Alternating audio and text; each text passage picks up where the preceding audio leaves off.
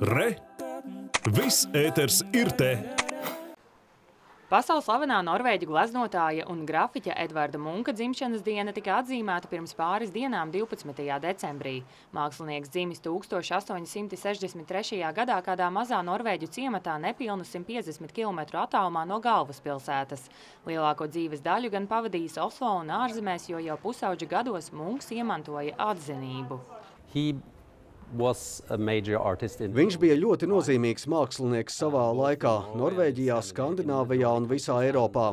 Viņam bija daudz izstāžu, kolekcionāri iegādājās viņa darbus. Vienlaikus viņš daudzus darbus arī paturēja sev. 19. gadsimta beigās Munks iemantoja slavu kā simbolisma pārstāvis, savukārt 20. gadsimta sākumā viņš guva starptautisku atzinību un daudz ceļoja. Krāsas un and, triepieni, kā arī kompozīcijas and the viņam ar laiku uh, kļūst ar vien brīvākas. Munks ir viens no ekspresionisma aizsācējiem, un tas uh, redzams šeit šo māksliniecisko izpausmju atbrīvošanā.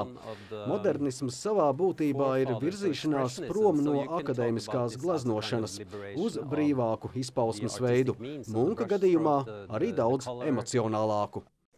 80 dzīves gadu laikā mākslinieks radīja daudz darbu. Tiem vies cauri tēmas, kas raksturo viņa dzīves pieredzi, un liela nozīme ir nāves motīvam, kas apspēlēts ļoti daudzos darbos. Nāves tēma viņam nāk no viņa ģimenes un bērnības. Kad viņam bija pieci gadi, māte mira no tuberkulozes.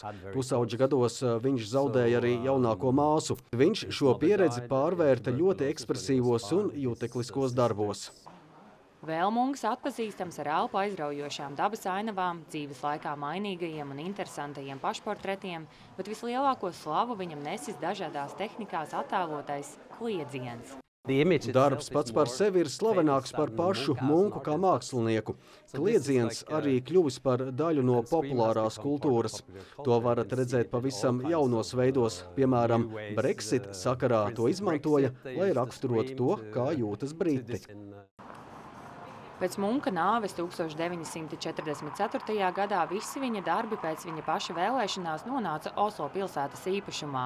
Kopš tā laika pilsēta uzņēmās rūpes par dižām mākslinieka darbiem un vairāk nekā 60 gadu viņa māksla glabājās salīdzinoši mazākās telpās. Tagad plašajā un modernajā ēkā, ko projektējis spāņu arhitekts Juans Herreos, ir vieta ne tikai 26 tūkstošiem mākslas darbu, bet arī mākslinieku galerijām un darbnīcām, lekciju telpām, restorānam un veikalam.